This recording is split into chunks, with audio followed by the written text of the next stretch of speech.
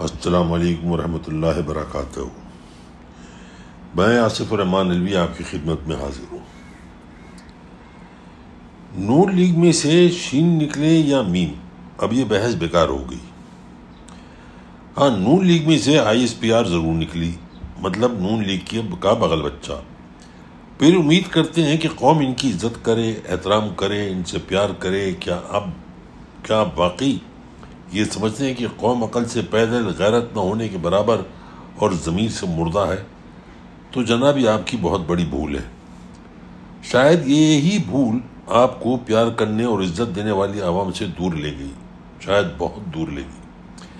पहले आपकी आवाज़ में दबदबा था, चाल में वजाहत, अंदाज में शुजात और ललकार में मौत का सन्नाटा और खौफ था।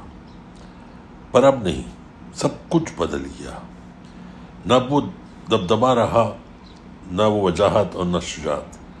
अब वो प्यार और इज़्ज़त करने वाली आवाम आपके सामने सीना ताने खड़ी है, न ललकार में वो घन गरज, न गोली में वो ज़ोर जो हमारा सीना चीर सके।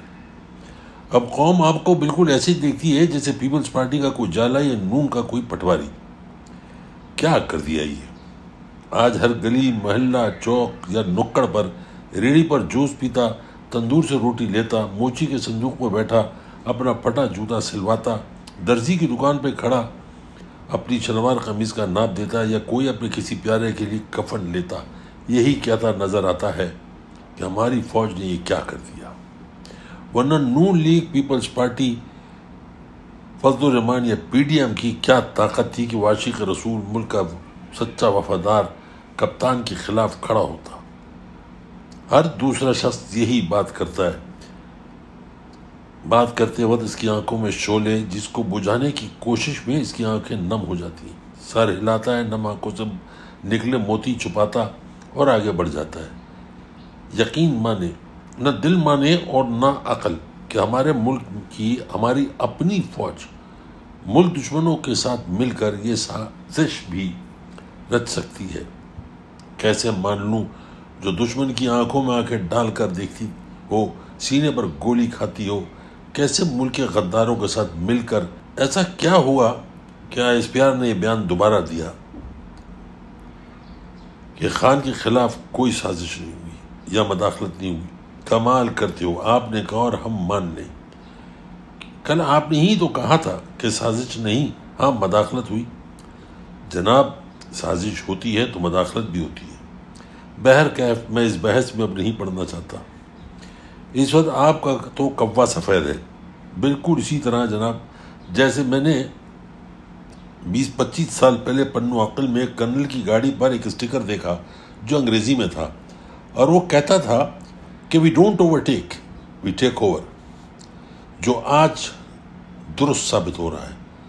पहले जब कुछ आई कहता तो लोगों के लिए वो हर्फ आखिर और पत्थर पर लकीर होती। और पर अब तो लोग टीवी में जब एस पी आर को देखते हैं तो एक दूसरे को हैरानगी से देखते हैं कि पता नहीं अब क्या भंड करेंगे।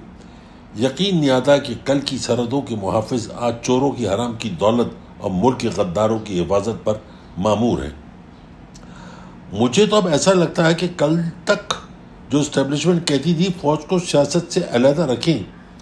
अब लगता है कि अलग अगले इलेक्शन में इनकी भी दस सीटें मुख्त कर दी जाएँगी। मखसूस सीटें जैसे ख़वातीन और अकलीती सीटें। बस अब यही कुछ बाकी रह गया। फिर वज़ीर अजम इनकी मर्ज़ी का कोई भी कुत्ता आज की तरह कठपुतली, बाकी रह गई मिनिस्ट्रियाँ तो दाखिला, खारजा, ख़जाना, इतलात और नशरियात दफ़ा, कम्युनिकेशन सनत और तजारत और एंटरटेनमेंट इनकी। बस बाकी का कठपुतली और इसकी काबीना। क्योंकि सिविल सुप्रीमेसी भी तो दिखानी है।